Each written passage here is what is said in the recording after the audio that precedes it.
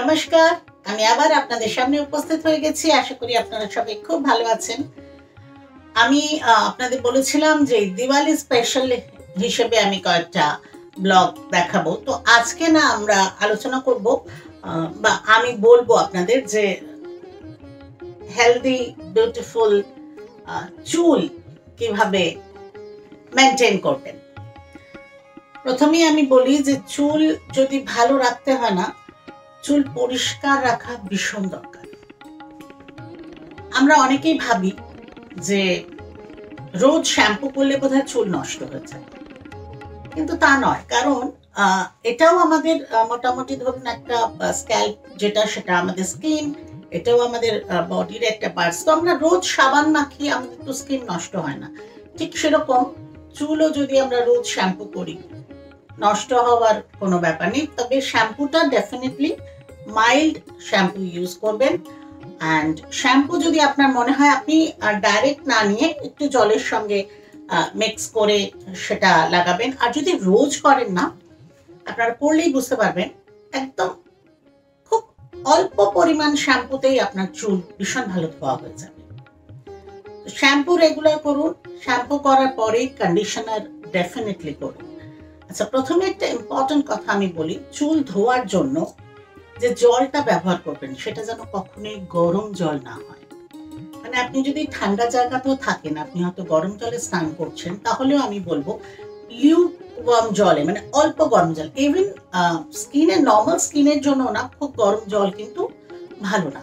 সেজন্য চুল সবসময় ধোবেন অল্প গরম জলে, আর যদি প্রয়োজন নেই, আপনার সেরকম ঠান্ডা জায়গা আপনি নন, তাহলে তো নর্মাল টেম্পারেচারের জলে ডেফিনেটলি আপনি চুল ধোবেন। শ্যাম্পু যেটা আমি বললাম মাইল্ড শ্যাম্পু নেবেন। শ্যাম্পু নিয়ে মানে এই না যে প্রচণ্ড একদম জোরে জোরে করবেন বা অনেকক্ষণ রেখে দেবেন না। শ্যাম্পুটা যেভাবে আমরা সাবান মাখি তারপরে ধুয়ে ফেলি, ঠিক সেভাবে অল্প শ্যাম্পু করে চুলটা ধুয়ে নেবেন। তারপরে কন্ডিশনার লাগাবেন। কন্ডিশনার লাগিয়ে একটা জিনিস খেয়াল করবেন, বাথরুমের মধ্যে না আপনারা চিরুনি রেখে নেবেন।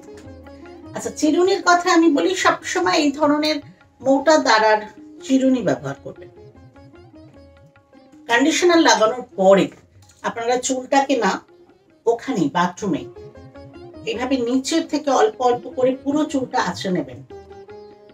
কন্ডিশনার লাগানোর পরে তখন দেখবেন অনেক চুল চিরুনিতে উঠে আসছে। অনেক চুল আপনার বেরোবে। বাট সেটাতে ভয় পাবেন না। ওখানে যদি পঞ্চাশ একশোটা চুল বেরিয়েও যায়, আপনি সেটা পজিটিভলি ওটা করে নেবেন। তারপরে যখন আপনি পরে চুল আঁচড়াবেন দেখবেন আর চুল পড়ছে না।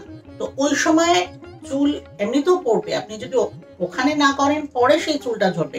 সো বেটার আপনি বাথরুমের মধ্যেই চিরুনিটা চালিয়ে নিন চুলে আর ডেফিনেটলি ওপর থেকে ওই জট শুদ্ধ করে তো প্রচুর চুল ছিঁড়ে যাবে। তো নিচের থেকে অল্প অল্প করে আপনি করতে থাকুন। দেখুন খুব সুন্দর ভাবে হয়ে যাবে এবং আপনি নিজে ডিফারেন্স বুঝবেন। যখন আপনি বেরিয়ে আসবেন, তখন দেখবেন যে চুল ঝরছে না কিন্তু। আচ্ছা আরও কয়েকটা জিনিস মাথায় রাখতে হবে, চুল শুকনো। চুল শুকোনো কিন্তু আপনি টাওয়েল ড্রাই করুন। আমি একটু জাস্ট আপনাদের দেখাচ্ছি কীভাবে টাওয়েল মাথায় রাখবেন। তারপরে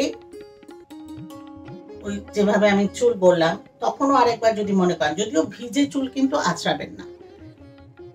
কন্ডিশনারের পরে বাথরুমে যে আঁচড়ান নিলেন বাইরে বেরিয়ে কিন্তু সঙ্গে সঙ্গে ভিজে চুল আঁচড়াবেন না।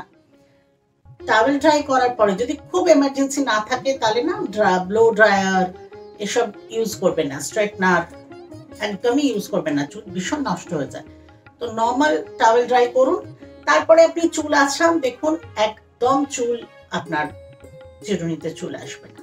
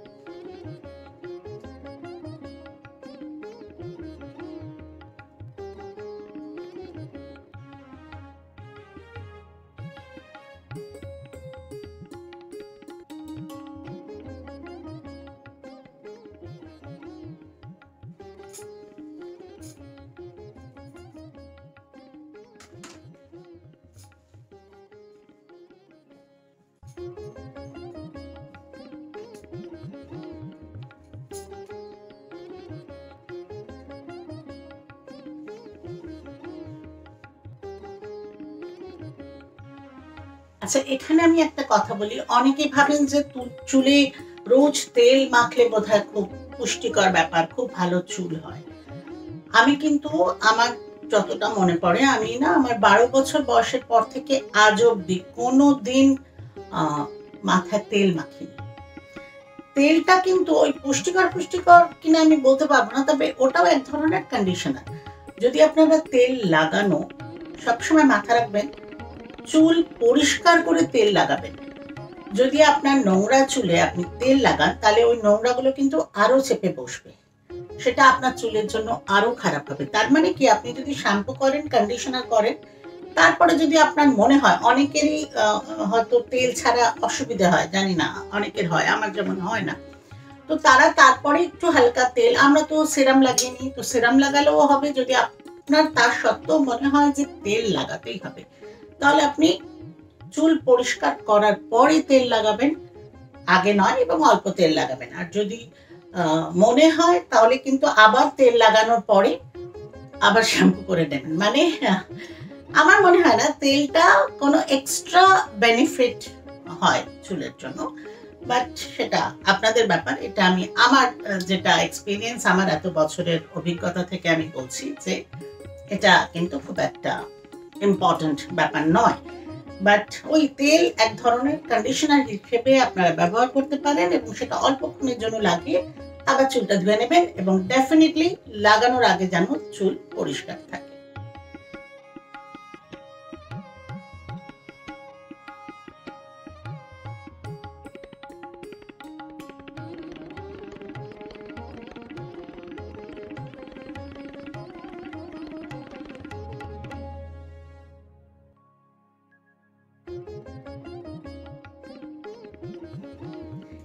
এরপরে আমি বলব চুলের হেলথের ব্যাপারে।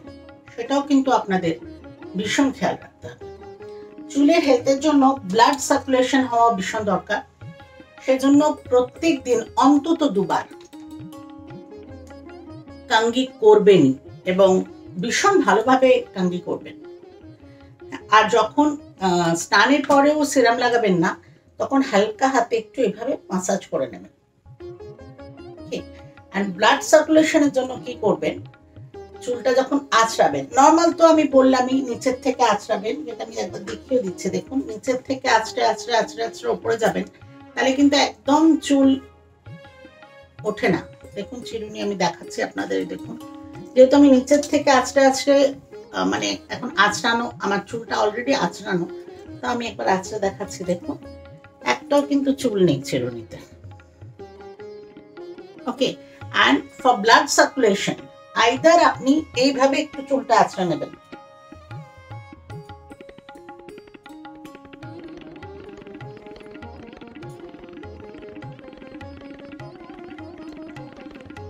অথবা আপনি যখন খাটে শোবেন, মাথাটা একটু নিচে, খাটের থেকে একটু ডাউনে করে রাখবেন। তাহলে কিন্তু ব্লাড সার্কুলেশনটা খুব ভালো হবে।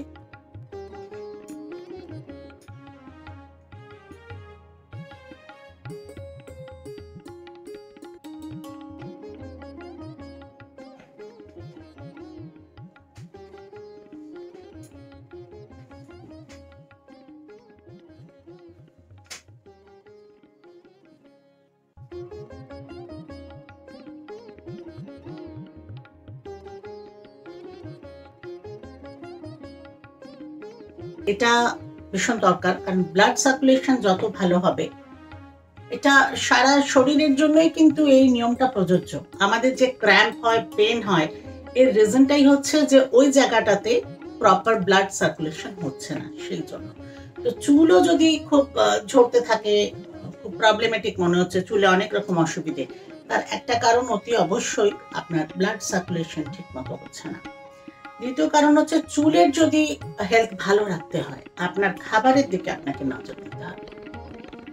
আপনাকে শুধু চুল না, আমরা স্কিনের জন্য বলি না যে ভীষণ ভাজাভুজি খেলে স্কিন ডাল হয়ে যায়, স্কিন খারাপ হয়। তো এগুলো তো আমাদের পার্ট অফ আওয়ার বডি তো সেগুলো মাথায় রাখতে হবে। যে আপনি খুব বেশি ভাজাভুজি, খুব বেশি অয়েলি খুব বেশি রিচ খাবার খেলে কিন্তু আপনার চুলেও এফেক্ট হয়। চুলের জন্য না একটু প্রোটিন খাওয়া দরকার। আমি ইন জেনারেল সবার জন্য বলি স্প্রাউট না? যেগুলো আমরা ছোলা মুখ ভিজিয়ে তার থেকে শিকড় বেরোয়, যেগুলো আমরা স্প্রাউট বাড়িতেই বানাতে পারি। তো আপনারা যদি ডায়েটে অন্তত রোজ না হলেও চেষ্টা করবেন অন্তত সপ্তাহে তিন দিন, চার দিন খানিকটা করে স্প্রাউট খেতে স্প্রাউট কিন্তু অনেকভাবে খাওয়া যায়। সেটা আমরা আরেকদিন আলোচনা করব। মানে দইয়ের সাথে খেতে পারেন, সালাড বানিয়ে খেতে পারেন, অল্প একটু পেঁয়াজ দিয়ে করাতে ভেজে খেতে পারেন।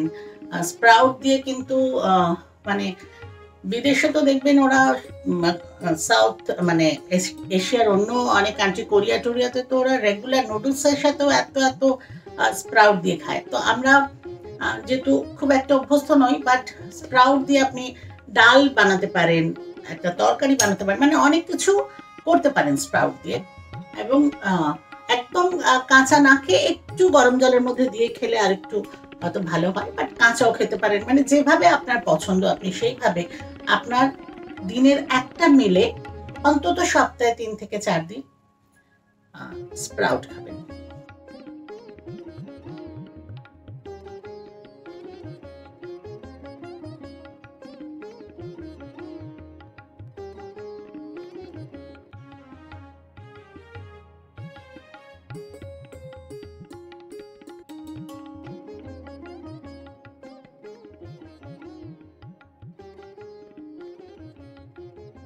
আশা করি আপনাদের ভালো লেগেছে। কারণ আমি না যেভাবে আমি ভাবি যে সিম্পল ওয়েতে কোন রকম ঝঞ্ঝাট যাতে মনে না হয়। রোজকার জীবনে, রোজকার যে নিত্য প্রয়োজনীয় কাজ যেগুলো আমরা করি, ঠিক সেরকম ওটাকেও একটা ছোট কাজ মনে করে যদি করে ফেলি। মানে এটাকে যদি একটা বার্ডেন মনে না করি জোরে বাবা, আবার চুলের জন্য এত কিছু করতে হবে? আমার মনে হয় সেইভাবে করলে এবং আপনাদেরও মনে হবে না যে আলাদা করে কিছু করছেন। তো দুটো জিনিসই মাথা রাখতে হবে, সেটা হচ্ছে পরিষ্কার করা আর খাবার। এই দুটো জিনিস যদি আপনি মেনটেন করেন চুলকে ভালো করে পরিষ্কার রাখবেন এবং নিজে ভালো খাবেন চুলের জন্য, তাহলেই আমার মনে হয় চুল ভালো থাকবে। তো খুব সিম্পল ওয়েতে আমি জানালাম এবং আপনারা পরে দেখুন, তারপরে আমায় জানাবেন যে আপনাদেরও উপকার হচ্ছে কিনা, যেটা আমি বলছি। তো যাই হোক আজকে এই পর্যন্তই। আমার চ্যানেল নানা রঙের দিনগুলি, সঙ্গে মলি লাইক করবেন শেয়ার করবেন সাবস্ক্রাইব না করে থাকলে করে নেবেন আর কমেন্ট তো করবেনই। আপনাদের কমেন্ট পড়তে আমার ভীষণ ভালো লাগে। খুব তাড়াতাড়ি আবার দেখা হবে। খুব ভালো থাকবেন। নমস্কার।